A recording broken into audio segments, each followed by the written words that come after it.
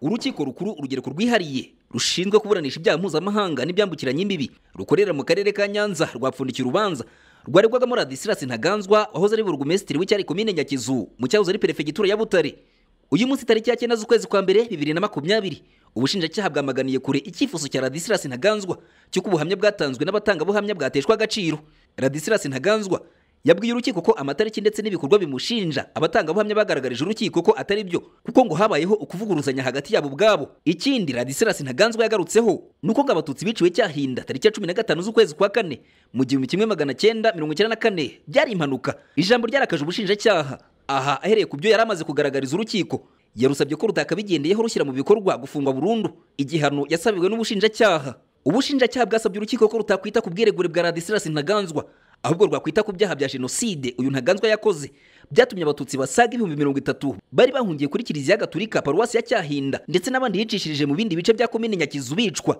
Ikindi kandi ngo ukudahuza kw'amasaha kw'abatangabuhamya baboneyeho radisirasi ntaganzwa tariki ya cumi na gatanu z'ukwezi kwa kane mu gihumbi kimwe magana cyenda mirongo icyenda na kane ubwo yari kumwe n'abajandarume ndetse n'interahamwe. Bidakuyeho ko iyi tariki abatutsi bari cyahinda bishwe ku itegeko ryatanzwe na radisirasi aha ubushinjacyaha bwavuze ko kudahuza amasaha kw'abatangabuhamya urukiko rwabitesha agaciro.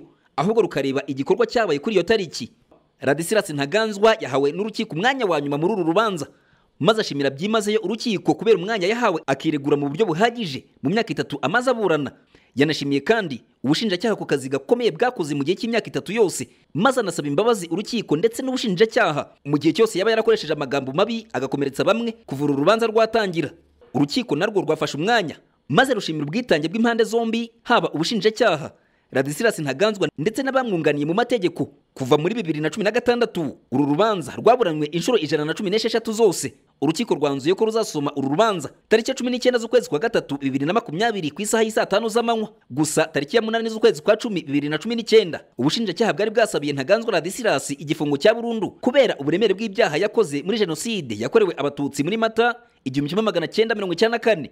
Radisirasi ntaganzwa yafatiwe muri repubulika ya demokarasi ya kongo tariki ya karindwi z'ukwezi kwa cumi n'abiri bibiri na cumi na gatanu maze azanwa mu rwanda tariki ya makumyabiri z'ukwezi kwa gatatu bibiri na cumi na gatandatu. Mu byaha uyu Ladislas ntaganzwa ashinjwa. Birimo uruhare yagize mu bitero yagabye ku mbaga y'abatutsi bari bahungiye kuri kiliziya gatulika paruwasi ya cyahinda aho abatutsi basaga ibihumbi mirongo itatu bahasize ubuzima. Ashinjwa kandi urupfu rw'abatutsi basaga igihumbi bari bagiye guhungira mu burundi uyu radisirasi ntaganzwa akibimenya. Ngo yabatangiriye ku kanyaru abazana mu gace ka nkomero. Bukeye bicwa n'abajandarume uyu ntaganzwa yari yakuye i butare radisirasi ntaganzwa ashinjwa kandi ibindi byaha birimo gufata ku ngufu abagore b'abatutsikazi nyuma akabica. Hari kandi n'amategeko yagiye atanga yo gushyiraho amabariyeri muri komine nyakizu yari abereye burugumesitiri. Inyinshi muri zo zikaba zaraguyeho abatutsi batari bake. Ndetse n'ibindi byaha byibasiye inyoko muntu akurikiranweho kuba yarakoze akoresheje ububasha yari afite mu gihe cya jenoside. Yakorewe abatutsi muri mata igihumbi kimwe magana cyenda mirongo icyenda na kane. Karexite kaberuka mu karere ka nyanza.